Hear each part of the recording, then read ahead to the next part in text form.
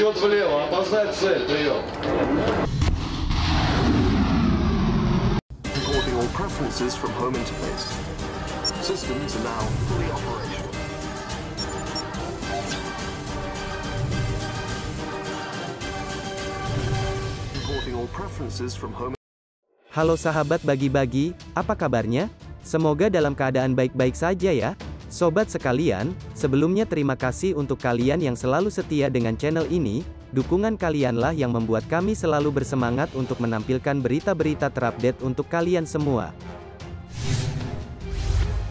Sahabat bagi-bagi, latihan gabungan bisa dikatakan sebagai ajang unjuk gigi suatu negara yang terkadang disertai transfer pengetahuan dari satu negara ke negara lainnya. Tujuannya sudah jelas, apalagi kalau bukan membangun hubungan yang baik secara terbuka ataupun rahasia. Namun biasanya, latihan gabungan semacam ini dipegang oleh kekuatan-kekuatan besar seperti Amerika. Tapi sayangnya kali ini bukanlah Amerika yang menjadi pemain utamanya bos, melainkan si negeri beruang merah Rusia.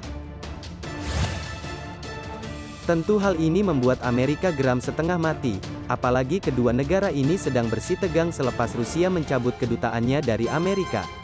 Moscow's foreign ministry on Thursday said the deputy head of the U.S. diplomatic mission in Russia was handed a note with the news. Seperti yang kalian tahu ya sobat bagi-bagi, negara kalau udah cabut kedutaan kebanyakan sudah siap untuk berperang.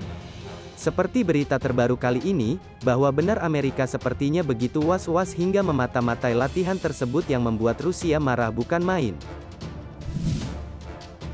Sobat bagi-bagi, dilansir dari sindonews.com, jet tempur Rusia berhasil mencegat pesawat mata-mata milik Amerika di atas Samudra Pasifik saat melakukan serangkaian latihan militer besar-besaran.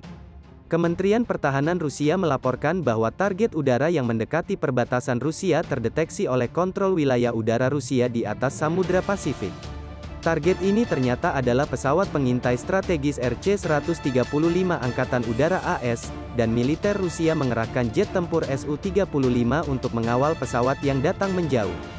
Sobat sekalian, pantas saja Amerika kepanasan, sebab latihan militer yang tengah diadakan Rusia ini bukanlah latihan sembarangan. Apalagi dalam latihan itu, Rusia mengerahkan armada yang cukup besar. Di antaranya 20 kapal perang permukaan, kapal selam dan kapal pendukung, seperti kapal penjelajah rudal Variak kelas Slava, kapal perusak anti kapal selam besar Admiral Pantelev, kapal fregat kelas Udaloy Marsekal Saposnikov, korvet Gromky, Soverseny dan pahlawan Federasi Rusia Aldar Sidenzapov dan kapal instrumentasi jangkauan rudal Marshal Krylov. Serta di udara ada sekitar 20 pesawat termasuk pesawat anti kapal selam jarak jauh Tu-142MZ, pesawat tempur pencegat untuk ketinggian tinggi MiG-31BM dan pesawat lainnya.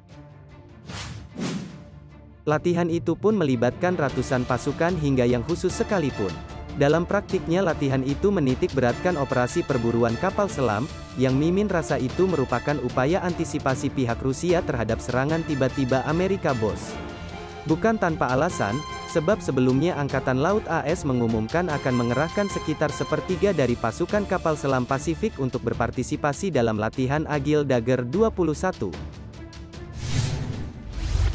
Sahabat bagi-bagi, insiden semacam ini memang tidak jarang terjadi, namun aksi militer Amerika tentu menimbulkan tanda tanya besar. Sebenarnya mengapa Amerika sampai nekat melakukan hal semacam itu pada sang rival? Namun jika kita melirik dari kasus ini, sepertinya sudah terlihat jika Amerika akan terus mengawasi pergerakan militer Rusia. Dan tidak menutup kemungkinan pula jika ajang perlombaan yang diadakan Rusia beberapa bulan yang akan datang pun terancam diintai oleh Paman Sam.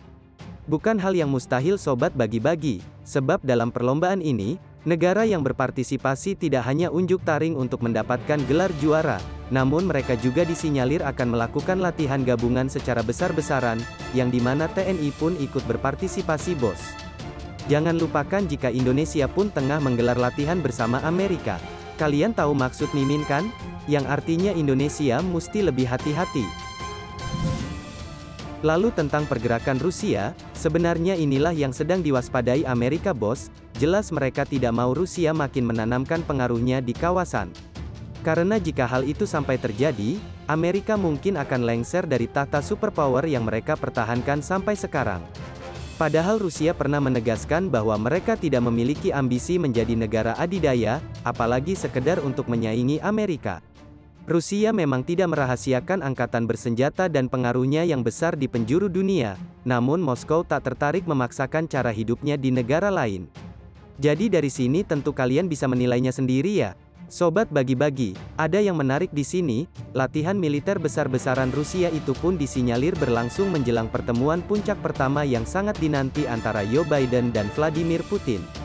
Lantas apakah hanya kebetulan saja, atau mungkin memang disengaja? Ya hitung-hitung pemanasan mungkin? Oke sobat sekalian, kalau menurut kalian gimana nih? Silahkan berikan tanggapan kalian di kolom komentar ya. Wassalam.